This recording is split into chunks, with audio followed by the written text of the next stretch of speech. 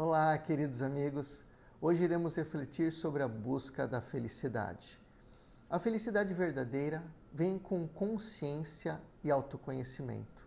Não é uma meta, mas um estado de espírito. É uma experiência. Para os filósofos epicuristas e estoicos, uma vida feliz é aquela pautada pelo autocontrole e pelo equilíbrio, levando o ser humano ao autoconhecimento, para não se tornar escravo dos desejos.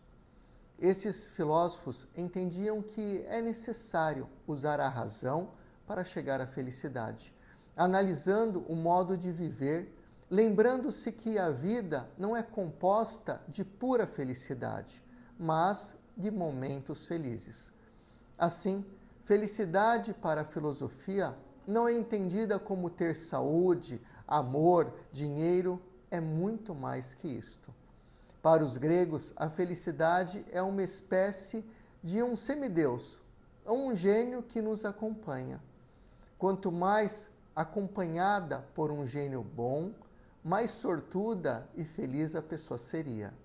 Quem tivesse um gênio mau era fatalmente infeliz, criando para si um futuro ruim.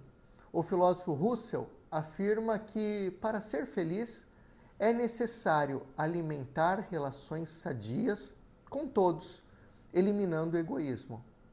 Para ser feliz, esqueça a culpa, abra mão de controlar tudo, pare de reclamar, pare de achar que você precisa estar certo o tempo todo, esqueça o passado, se dê uma nova chance.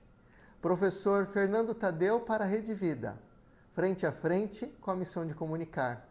Tchau, tchau.